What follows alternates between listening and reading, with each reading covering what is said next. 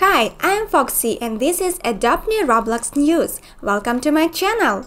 The summer festival in Adopt Me Roblox is coming to the end. But don't relax guys, already this Saturday a new update will be released in the game, Themed Areas. The areas will probably change every 25 days. The first area is the Safari. You will be able to get 3 pets. The uncommon Warthog for 600 bucks the rare ostrich for 1300 bucks and the ultra rare lion cub for 150 robux. Another big news is about a special reward for buying UGC items.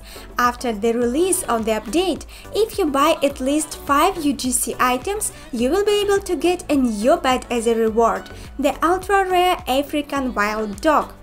But the news that is sure to please you the most is the following. It's about pets.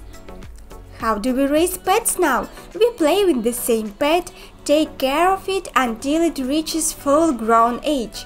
What do we do next? We get the next newborn pet and so on. But we all have our favorite pets, right? Or right fly pets that we more expected to play with. So, after the update, it will be possible to interact with full-grown pets even further. But now, it will have a new status – friendship. By caring for such a pet, you will increase the level of friendship with him. And for each new level, you will get a special reward – aging potion. If you give this potion to another pet, it will grow up immediately. What does that mean?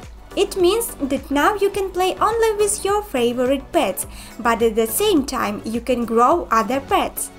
That's all the Adopt Me Roblox news for today. Which part of the update are you looking forward to the most? Thanks for watching. See you later.